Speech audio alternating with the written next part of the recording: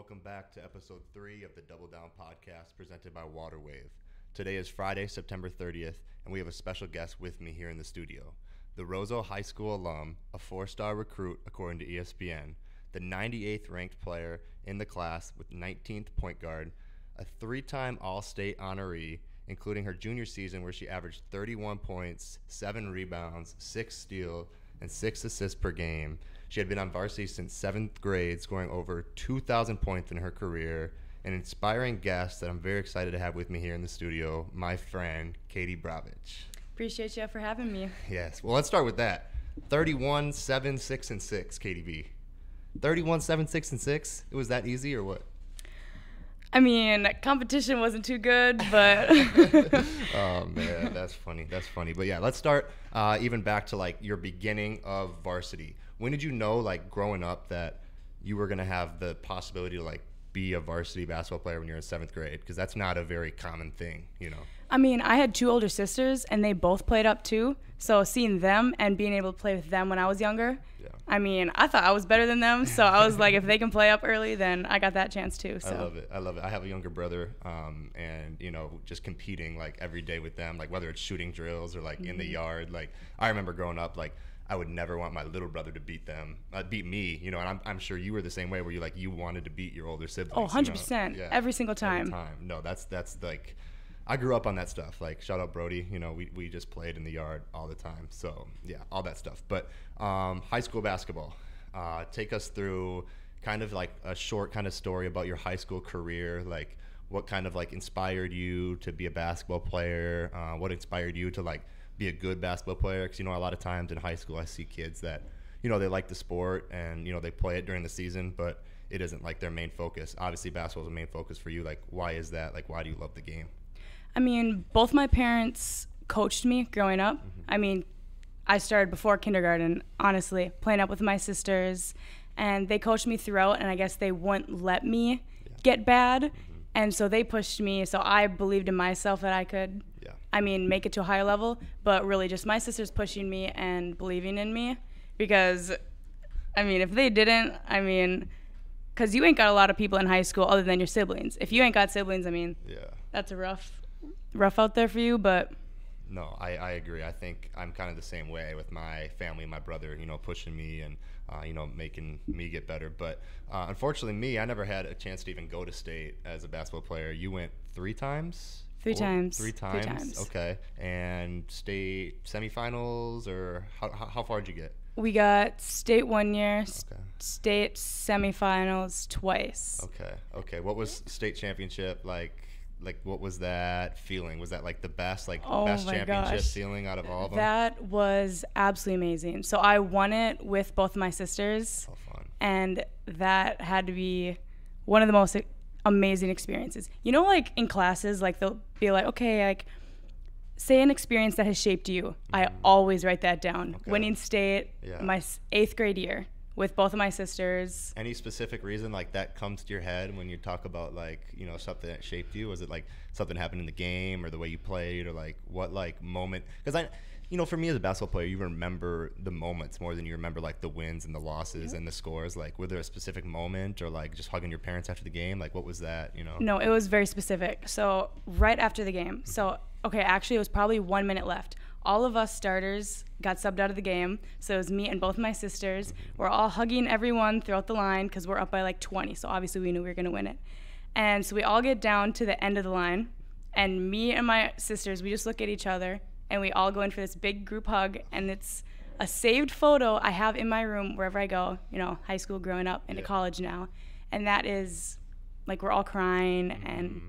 best experience of my life. Yeah, no, that's I even get the chills thinking about like you know subbing out early and mm-hmm. and the hugs and everybody's cheering and like you just feel on top of the world. Like I won four conference championships and every year was kind of the same way. You know, like coming down, it's like hugging your guys and hugging your family and like for you, it's even more special. You got your two sisters there. You know, um, you know, talk about like growing up playing basketball with them. Like obviously they pushed you. Um, you know, like how did how did that relationship like continue to help you grow and eventually like make you into a D1 basketball player?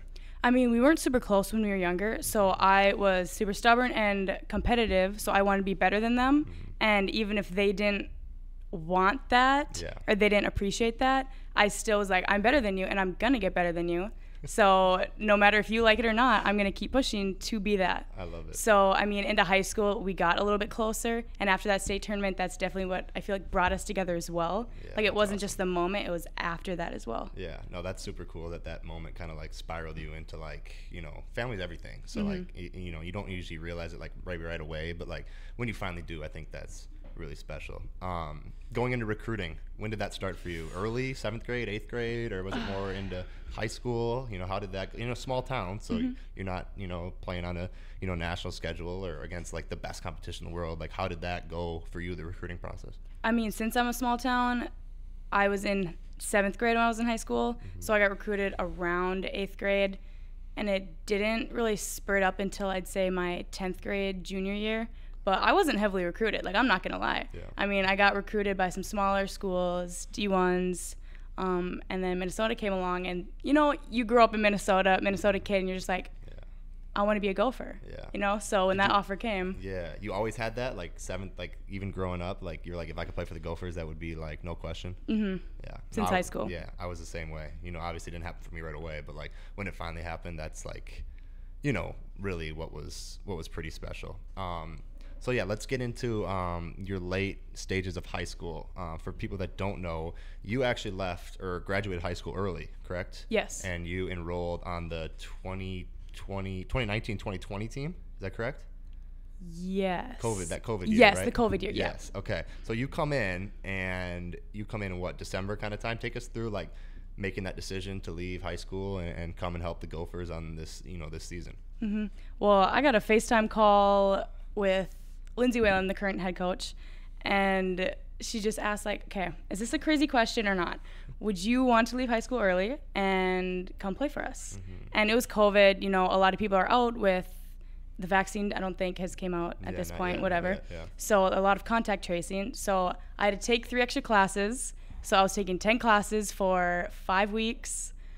Um, it was worth it, I promise you. Yeah. Um, so probably December, like 26, right after Christmas, I came on campus, Mm-hmm. and I guess Just went from there. just went from there. Yeah. So you you come to campus and they grant you you have eligibility right away. Mm-hmm. Um, so you come in your first game against Penn State, and then you face the number eight team in the country, Maryland. Mm-hmm. And I haven't seen it, but what I was told is that KDB stepped in that game and just shot a deep three and cashed it. Is this, is this a true story?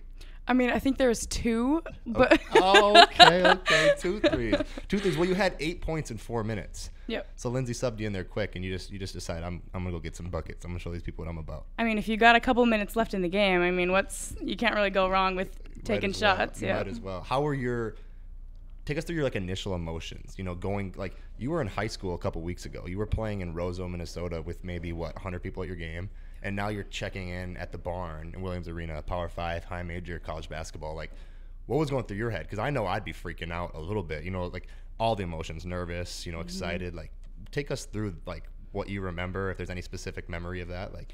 I mean, I was definitely nervous. I'm like, I'm not even 18 yet. These big girls are bullying me around. Like, how am I gonna fare up? You know.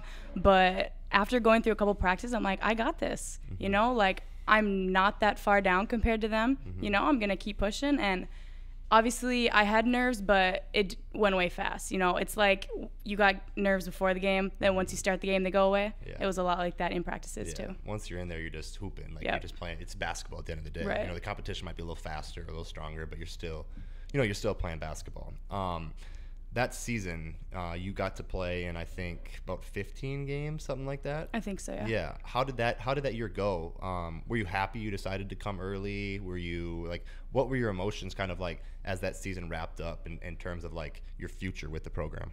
I was very happy. Um, a lot of people asked me, like, do I think I missed out on the end of the year with my seniors and everything? And especially because it was COVID, nothing was really happening. Like, I think that was a huge experience for me, especially what happened Yeah. um, with like my surgery and everything. But I would not take it back. Like, that was one of the best decisions I've made in my life. Yeah, no, that's awesome. You know, um, so you, you finish out that year. Um, you know, we're, we're going into summer. What are what are your kind of like you know, what's on your mind in terms of like this next year? Um, you know, not even into summer yet, but like the season just ended. Like, you know, you excited to be back and be like an actual freshman again? Like, Mm-hmm. you know, where's your head at there? I mean, we didn't make the tournament, so I guess that was in my head. I'm just like, I got to get better to push this team so we can get to the tournament. Yeah. But I don't know. And we had all rest- or returners come back, Okay. so it wasn't like, oh, like who's gonna be on this team, Yeah. you know? So Yeah. You know, you're Yeah. just excited. Just Yeah. excited for. I think I was like I was the same way. You know, I didn't play my freshman year at all because I redshirted, and I was just like, you know, even before summer came around, I was like, I was right in the gym like the next day the season ended. You Yeah. know, we've actually played in the national championship that year, and the next day that ended, like, or a couple days after, you know, we probably. Uh, we probably hung out and had a good time and celebrated like getting a national championship, but like being so ready to get back into it. And I think I think that's with a lot of athletes, but it's hard too. Like you want to give yourself some time, but also like you love the game and you don't want to like get away from it. So Yeah. I think that's such a such a special thing. Um, we're gonna continue uh, the interview, but we want to take a quick pause to thank Northern Chill for sponsoring the Double Down podcast. Uh, we're gonna play a little ad bit from them right here, right now. Thank you guys so much for watching this podcast. We're going to take a quick break to shout out the supporters that support us to make this happen. Shout out to our sponsor, Northern Chill. It's my favorite water out there. It's a 7.8 pH level. It has calcium, magnesium, chloride, sodium, potassium, and even other minerals that help you live better. It makes you feel better, makes you live better, makes you healthy and hydrated. It's my favorite water. You can shop it online at northernchill.com. And we have an exclusive code for our podcast listeners. Code WWTV20 will give you 20% off a case of Northern Chills like you see right here. It is our favorite water over here at Waterwave, and I don't like to drink anything else. If I have to, I will, obviously, because I got to survive. But at any time of the day, I'm looking for a Northern Chill. Follow them on Instagram at DrinkChillH2O as well, and get with the movement. Start drinking real, real water and quit drinking that sink water, man. You know it's not good for you. I want to thank Ricky for that shout out on Northern Chill. Uh, we're going to keep this up here with the podcast, uh, transitioning into kind of the reason why this podcast has started, um, and kind of the reason why you know you are who you are. It, you know, it shaped you. You know, my things shaped me. This unique kind of adversity. Um, take us through you know the summer and um, you know starting up last season. Um, you know, you uh, obviously you know were had the the procedure done in November, but take us through like you know what came up to that point. Like what was going on and and how were you feeling like in practice that you know like that kind of experience. I mean, it came on so fast where I mean, I was super excited for that summer, mm-hmm. right? You come back and you're like, okay, let's see what I can do, you know, let's get yeah. the starting spot. And we're doing drills and I can't do them. You mm-hmm. know, like I'm falling over, I don't have enough balance. Yeah. I'm not being able to run sprints, go up and down the court. And at that point, I was just like confused. I'm like, what is my body doing? Like I've been like good this my whole life. I haven't had any troubles. So I was more confused and upset at myself because I didn't think it was anything wrong. Mm-hmm. I just thought it was something that I was doing wrong. and that was like you would say confused was like your kind of like where your emotions went because like mm-hmm. talking about like emotional stressors that we go through as you know student athletes and, and professional athletes like confused is is such a normal word i feel like in sports especially with like injuries and something coming up like you don't always have the answers is that kind of like where your head was at like what's going on like what's happening That was definitely what I felt. Especially like, you know, if you want to improve your game, you watch film and you're okay, that's what I did wrong. You know, mm-hmm. I didn't have any of that. You know, we went to the doctor and I got some MRIs, I got some x rays and all that, and still nothing showed up. Mm-hmm. So I kept playing and symptoms got worse. And I did end up getting more MRIs and they realized what was wrong with me. But mm-hmm. before that, I was totally out of my game. Headspace, Yeah. like And, like, physically. yeah physically like what did you like what did you feel like you, you like you said you couldn't like do drills and workouts like what was going on inside like your body physically that was like really happening So it was pretty much all of my legs. I didn't have mm-hmm. anything above my waist. It was terrible balance. My legs felt heavy. Like mm-hmm. every single time I moved them, it was like 10 extra pounds. I had prickly needles like up and down throughout my whole entire leg, like on the inside. So it's mm-hmm. like someone asks, like, "Oh, what's wrong?" I'm like, "It's everywhere. Like I can't explain." You mm-hmm. know, and it got to a point where I'd be sitting on the ground crying because I couldn't stand up any longer. Yeah. You well, know? that's yeah, and and I think when I think about sometimes of like basketball, I get like little nicks and bruises. Was that something that you thought it was right away? Like, oh, maybe this is just something today, and I gotta just gotta shake my legs out and get back, or was it like you were scared from the start? I was scared from the start because I'm like, nothing like this has happened before. Yeah. You know, like I'm a down and dirty player. Like I get on the floor a lot. I got bruises all the time. So I was like, this is something new. Like this is nothing that I've Mm-hmm. experienced before. So I, Yeah, and, and it's also so tough because you know I was talking to Lindsay, uh, Coach Whalen, about um, you know I was going to start talking with her and you know talking about different things, and I was you know going to talk to her about you know being there for your teammates and wanting to do things right. Was that something that was like in your head too? You know, like you know you want to be the starting point guard, you know this upcoming year. Like how did you like process the the feelings of like you didn't let your teammates down, but I feel like as an athlete in the moment, like you feel like you're letting your teammates down. You know, is that something you felt as well? I felt like I left my teammates down. Mm-hmm. Like I'm off to the sideline, not being able to do these drills, even sprints. Like that was the worst thing where I'm just like, they hurt so much more when I do sprints or when I even scrimmage. Mm-hmm. So it's like, what do my teammates think of me that I was trying to get out of these drills, trying to get out of sprints, you know, conditioning? especially in such a competitive environment too Mm-hmm. where like you know at the end of the day you're all friends but i want to play your minutes and you know she wants to play your minutes Mm-hmm. Yeah. you know so you know i think that's such a such a tough situation that i you know i went through as well um, talk about the mris so if i got this correct you first went and got one like knees down or like waist down and then you got another one and then you ended up getting a third one before they even found anything out Yeah, so it was waist down and there was nothing. Everything looked good. And then it was pretty much middle section down. Okay, yep. And then the third one was finally full body and they got my brain and everything and that's where they figured out the problem, I guess. Yeah.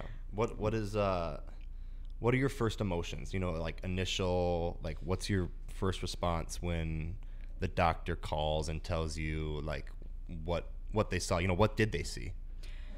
Okay, this might sound bad, but it was almost a relief that I knew what was finally wrong with me.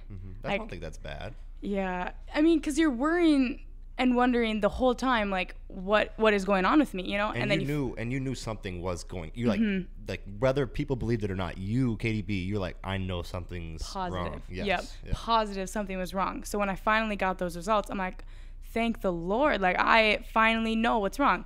But I have never heard of this condition before. Mm-hmm. Yeah. So then I was like, okay, let's do our research. So it took a while to adjust to realize that something was actually wrong with me. But Mhm. And it's Chiari. yes. correct? So Chiari. for everybody that's listen, Chiari malformation is what you got. Would you say like diagnosed or Yeah, I'd say- or- diagnosed with? yeah. So you talk about relief. You know, um, what did you know about this? You know, malformation. Like, did you have any idea about it? Like, did you think like research you know, on WebMD or like wh- what was going through your head when they told you that? Yeah, I had no idea. Mm-hmm. So like once I told my parents, we definitely went on Google, Yeah. did our research, but we had no idea before that. Yeah. No clue. So, like that, I did my research because I had never heard of it. Mm-hmm. And from my understanding was you have a normal sized brain, but your skull's a little too small. Correct.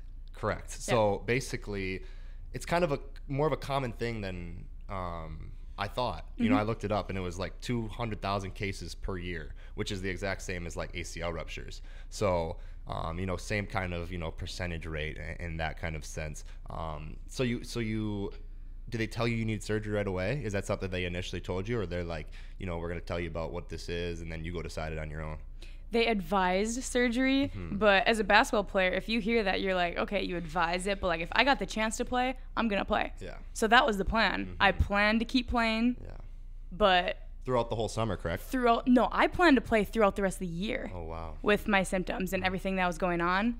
But then there was a rule where like if you play within the first nine Games, games, and then redshirt like medically, then you can play right away. So I was gonna try at least get in nine games. I couldn't even get I couldn't even get that far. Mm-hmm. Yeah. So you get to probably what end of October ish when you like kind of start to make that decision to get surgery.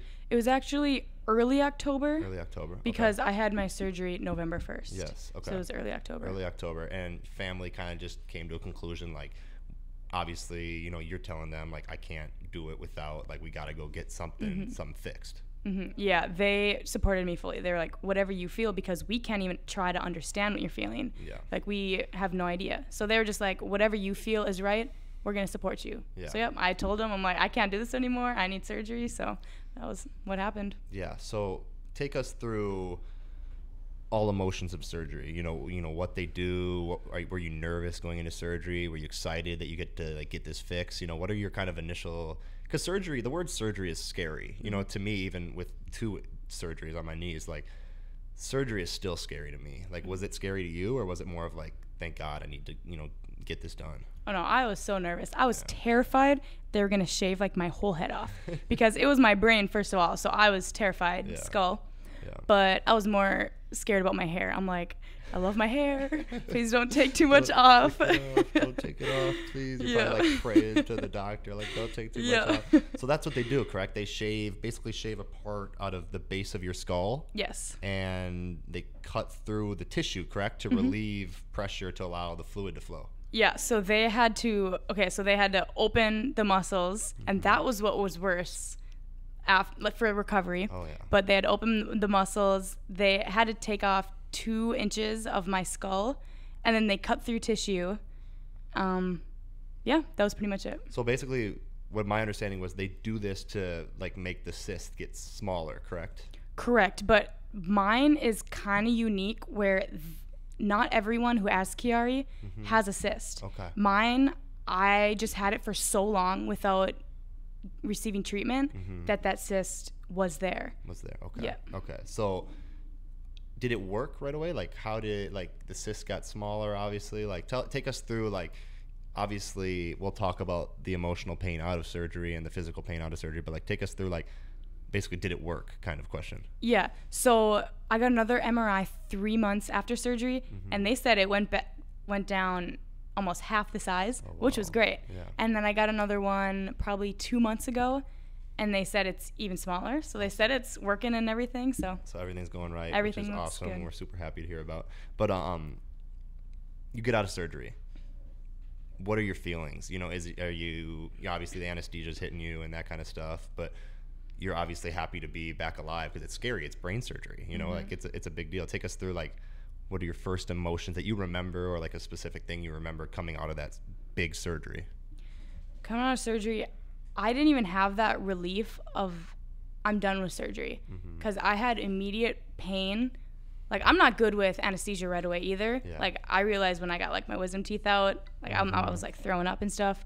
But so that on top of coming out and being in so much pain, Yeah. I can't even can't even describe it. No. I didn't have enough time to reflect and be like, okay, I finally got the surgery. I'm finally done. Yeah.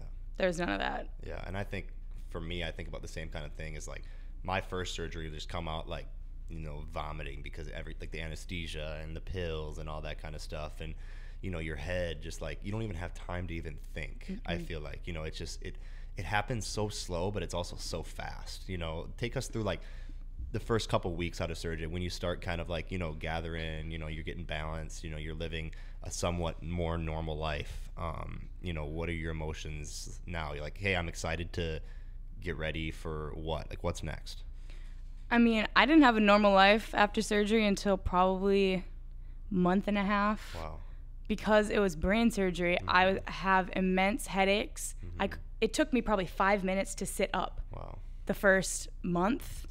So even walking, I was limited.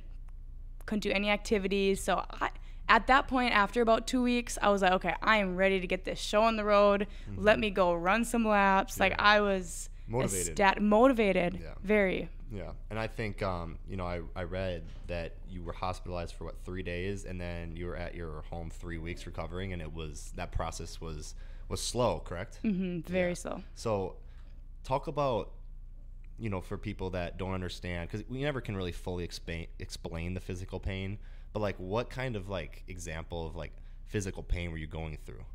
extreme headaches. Yeah. I always describe to people like if someone's smashing on a door, right? Like you feel the vibrations, you can he- obviously hear the pounding. That's what it was like in my head almost 24 7. If I spoke too loud, if I bent down too far, if I walked a little farther.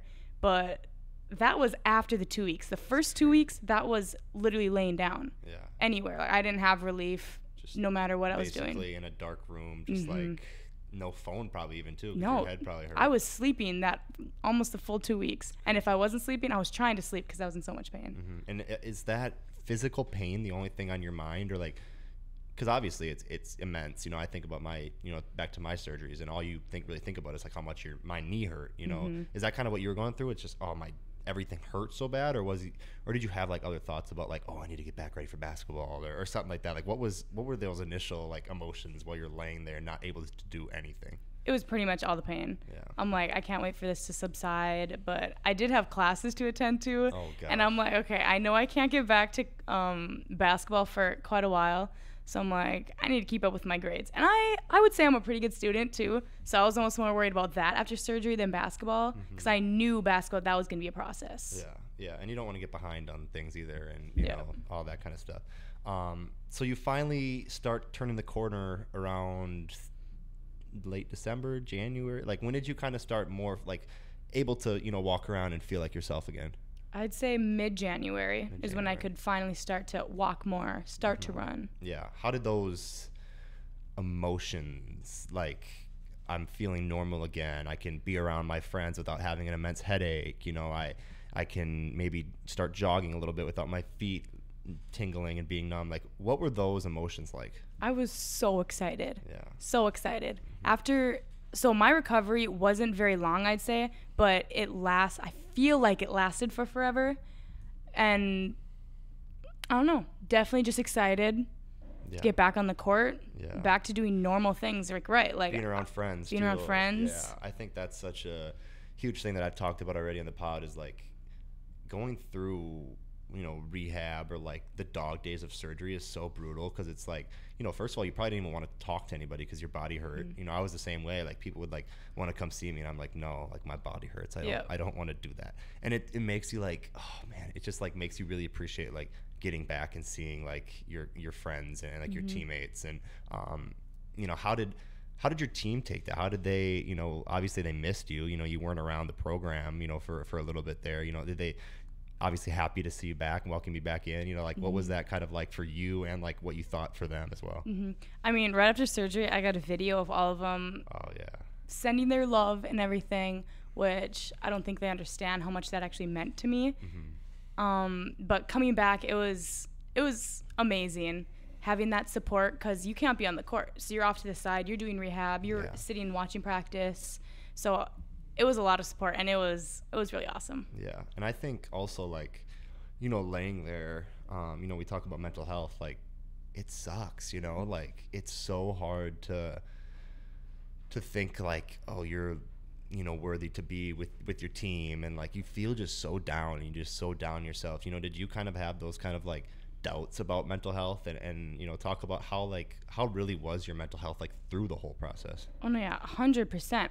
At that point, I'm like, will I ever be back the same I was? Mm-hmm. Like these symptoms, I felt almost like crippled to a point that like I couldn't function right normal activities. Yeah. Like before surgery, I couldn't go to volleyball games. I couldn't go to football games. It wasn't even just activities then. Yeah. It was standing for too long, sitting for too long. Yeah. So after coming out of that, I'm like, will I ever be the same again? Yeah. So I had all those doubts. I didn't want to go out anymore because I was afraid I was going to get the like. Same symptoms. Yeah. So you would say, you know, you were scared, you know, a lot. Very scared. Yeah. How are you able to, and if maybe you you have, maybe you haven't, how are you able to overcome that kind of like scariness? Was it more just like repetition and you know it getting better and better, or was there something that you did for your mental health or emotional health, or like you know how did you kind of get over that level of being, you know, like you said, scared? I'd say it's, I'm still in that process right now, mm-hmm. figuring out how to get out of it. Yeah. I mean, I still got some symptoms, Yeah. so that's tough trying to live with that, figuring out why I'm still having symptoms.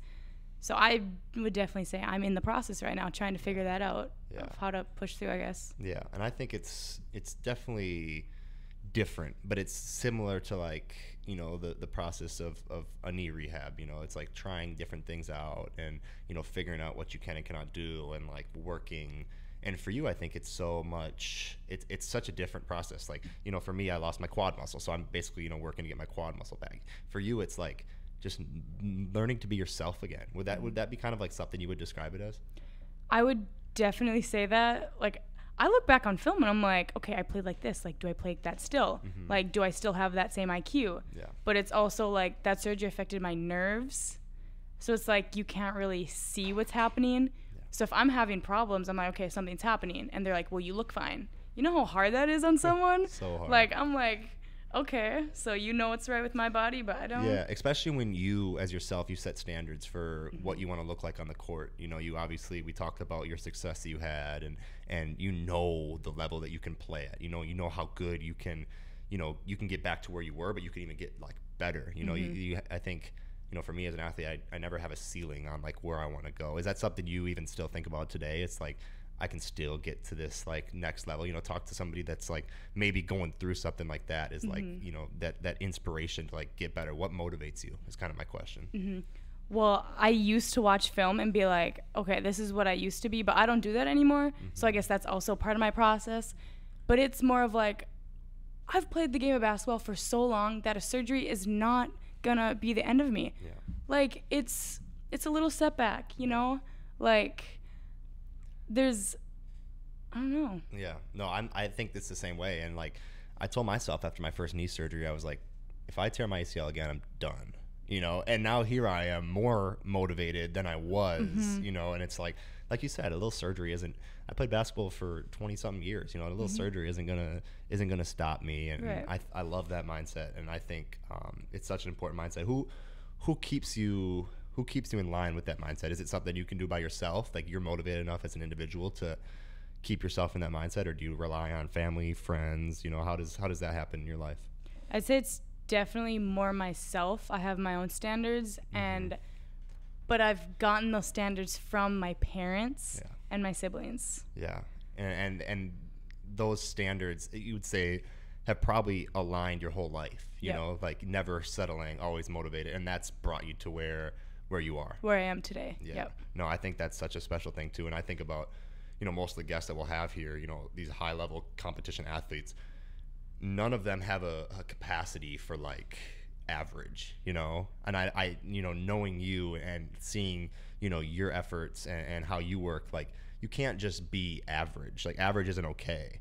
It's even when you're hurt, you know, even when you're injured, you're like, okay, I'm mm, something's happening right now, but when I get out of this, I can't just be average again. You know, is that something you think about? Because I know I think about it all the time. Mhm, No, all the time. And even when I was in rehab, I'm just like, okay, well, if someone else was in rehab, I'm probably doing better than them, right? Yes. Like, I'm going through this faster. Like, I'm gonna come back faster, you know? yeah. Like, I had that mentality the whole time, even though I was scared, you know? yeah. Like, you can be scared, but also have that motivation Yeah. For yourself. Which I think is so huge too, because I talk about me and Zay talked about last episode, like he was hurt at the same time I was, and the competition that we had with one another. Like I'm gonna get better than him today, and, and you were doing doing that versus yourself. Yep. Which is even a better competition. If you're able to compete with yourself, that you know you're only making yourself better and better and better. Yeah. So um, you know, coming out of all that, let's talk about now. You know, it's it's it's September. It's late September. Uh, the season starts in you know probably a month, month and a half, something like that. Where are you right now? Not exactly where I wanna be yet, hmm Which is okay. which is okay. Yep. It's a process. Yes. but I do still have a couple symptoms which we're working through. Mm-hmm. Um, but yeah, it's pretty much day to day how I'm feeling. You know, coaches are great, teammates are great, Mm-hmm. Yeah. very supportive. They're like, "What do you need today?" And Yeah. Mm-hmm. I'll be there for you. So that which is such a huge thing too, especially when your teammates know that you're giving your best, and you know you see that kind of stuff. You know, talking about. Um, you know, with our facilities, our obviously our training room is right off of um, you know the court. You know, so working on different things and just being around the program, like I feel like teammates can really like seeing is believing type of deal where like Yeah. you know you like people see Katie you know working to get better they want to help you get better is that something you see within your program mhm, 100%. Yeah. Like I'll see that with other teammates as well and we'll reach out to each other like they're like I want to get better. Like Yeah. do you want to come in the gym with me? Do you want to stay after get some shots up? Like I need that motivation and I'm like I got you. You know, like all of us on the team have that. It's not like individual players. Yeah, and I think it's vital. You know, I think about like even back to my high school teams. You know, having whether it's a manager or a teammate or somebody that's like hitting you up or you hitting someone else up to get in the gym. You know, I used to work out at, at 6 a.m. in our high school gym, and I would you know text my teammates like, hey, you know, let's let's get a workout And A lot of them didn't want to get up early, but you know, it's it's the thought of like somebody's thinking about me. Um, and wants me to get better along with them. You know, and I think a program needs that kind of from the leadership from the top down. You know, you have Right. you know you have the ultimate leader in Lindsay Whalen. You know, you, she's with you every day in practice. You know, how does how does having her as a leader, you know, with your unique, you know, story kind of like how does that help you every single day? Because obviously, looking at somebody in your spot where you know women's basketball, she's kind of you know at the top of women's basketball, Mm-hmm. point guard. You're a point guard. Like, how does having Lindsay around like really help you as an athlete, but as a person as well? Well, she just understands. She's been through it all. Even if she hasn't had my specific injury, she's had injuries. She's gone through championships. She's gone through losses. You know, like she understands, and she tells me that. Like, Katie, I understand. Like, whatever you need, I got you. Whatever you need from us, you know, all that stuff. Yeah, Like, and she's there. she's there. Yeah, and I think that's the the true sign of a of a of a real leader. You know, I think she embodies that kind of a character, and I feel like you know you would say that you're lucky to to have her around. Very lucky. Yeah, Very lucky. for sure. All right, so now we're thinking about you know let's move forward to this season. Uh, obviously, day to day, it's a process. We're going through it. Do we hope to be out there this year? You hope to be supporting the teammates. Like, where's where's your mind at? Where you want to be? Like, what's, what's going on with this upcoming year? I set s- standards for myself, I guess. So I don't want to Mm-hmm. be like, oh, I want to start. I want to do all this. I definitely just have the role of like, I want to be there for my teammates Yeah. wherever I am, whether I'm on the court, whether I'm on the bench, Mhm. you know, because every team needs that. And I'm like, I'll be that. Yeah. You know, whatever my team needs. If they need more of an assist Mm-hmm. leader today, Yeah. they're going to get that from me. If they need more of a scorer, they're going to get that. More of a defender, they're going to get that, you know? such whatever a great, yeah such a great attitude to have especially like going through something and you know everybody not that everybody feels bad for you but you know everybody's looks out for you you know which Yeah. which a caring teammate does. And when you are able to not be selfish and give that back it, it so tells so much about you as you know and your character. And you know i really applaud you for that. Um, talk about your team. Let's wrap up talk about the team. What what are you excited about? Obviously you know a group of solid freshman coming in you're kind of a freshman yourself Mm-hmm. Yeah. you know like uh, what are you looking forward to this year you know is it is it the wins and losses is it the relationship like what's what what is your goal for this upcoming year Something I'm looking forward to is the day to day practices. It's Yeah. Mm-hmm. not even the games because I love my team so much. We have a culture, we have like the community. Like it is so much fun day to day in practices every day, every yeah, day, yeah. every single day. So that is where I guess I'm looking forward to games. To like see how we put all that together. Mhm. But goals, oh, tournament, tournament tournament for sure. tournament for sure, which is an achievable goal, I believe, in my mind. Looking at your guys' program, um, you know, just getting better, especially with younger, younger, you know, players. You know, obviously they played, but it's a, it's a different jump from you know high school to college. You know, um, talk about you know talk about that. We'll kind of wrap up with that. Like, what do you what do you think you know these your team can do? You know, you, brought in a whole whole basically new group of, of girls you know how, how do you think they adjust to, to the big ten and the high level of competition how do you think like you can help that team out I think they're gonna adjust great. yeah Um, they got great leaders on this team to help them or to support them, Yeah. I guess. Mm-hmm. But they don't just look out for themselves either. Like they want to learn. They want to learn from Lindsay. Like first of all, Lindsay, great leader. Yeah. Like you, anyone can go to her for anything. So we go to her. You got other teammates, but I think maybe some games it'll be a little bit rough. We'll start out that way, but then we'll get there because we got the teammates for that. We got the coaches for that. You know, we're never going to be in too much of a slump because we're there for each other. hmm Yeah, no, that and that's huge too. From like I said, mentioned earlier, from the top down, the program. If everybody's bought in, you know, wins and losses they're gonna come, but the experience and you know, once you're able to have that true experience and trust one another, you can't you can't win a championship without that kind of you know collaboration, connectiveness. connection, and and yeah, exactly. And I think even the best teams with the most talented guys, they're not going to win, or guys or girls, you know, they're not going to win unless they have leadership and they have connectedness from the top down. Um, I think that's really all we have. You know, Katie, I want to thank you for coming on the podcast and telling your story. You know, I think it's think it's such a unique adversity um, that you faced and are, still facing. And um, you know, I think one thing that I think is really cool from your message is, you know, it's okay to not be okay, but it's you know you you still want to put that effort in and show people. You know, I think it's not even more about showing people. You know, you know, motivating yourself and getting better every single day. And um, you know, maybe it's not perfect, and it's okay for it to be not not be perfect. So, thank you, Katie B, for coming on the podcast. We're so excited to cheer you and your teammates on this year. Um, and with that, it's been Parker Fox. Katie B. And we are out. Peace. Thank you.